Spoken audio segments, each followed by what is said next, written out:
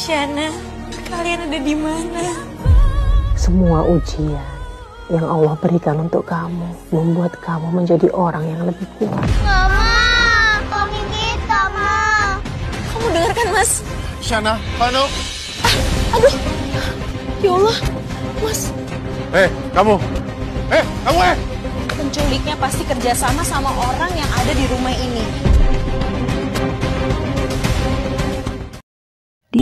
Terlihat Alia sangat mencemaskan Vano dan Shana karena Vano dan Shana sudah menghilang beberapa hari ini dan mereka terlihat lemas karena kehilangan Vano dan Shana.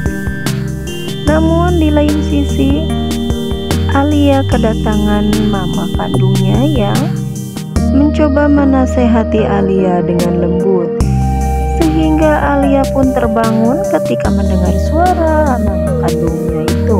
Dan di situ pun Alia berpikir bahwasannya dirinya harus kuat menghadapi cobaan dalam kehidupannya saat ini.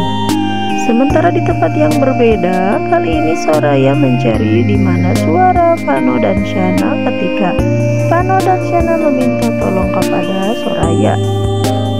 Namun di situ Soraya menemukan sesuatu yang hampir saja diinjak oleh dirinya.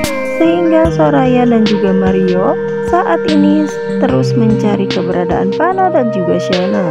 Di lain sisi, Soraya begitu khawatir ketika mendengar Vano dan juga Shana meminta tolong kepada dirinya, memanggil-manggil mama. Namun di situ Mario melihat mobil yang berhenti di depan rumah tersebut. Namun di situ Mario mencoba mengejar mobil itu.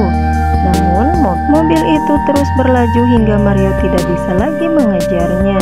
Sementara di lain sisi ibunya Mario hanya bisa terdiam karena tidak bisa berbuat apa-apa untuk menemukan kedua cucunya itu. Namun Amara berpikiran buruk terhadap Alia karena Amara menyangka jika Alia yang sudah menyembunyikan Pano dan juga Shana. Nah makin penasaran kan dengan keseruan alur ceritanya? Jangan lewatkan untuk terus menonton sinetron Tertawan Hati setiap hari hanya di SCTV. Dan jangan lupa untuk dukung terus channel ini dengan cara tekan tombol like dan subscribe terlebih dulu. Dan aktifkan lonceng notifikasinya agar kalian yang baru menemukan channel ini tidak ketinggalan episode selanjutnya dari channel ini. Terima kasih. Wassalamualaikum.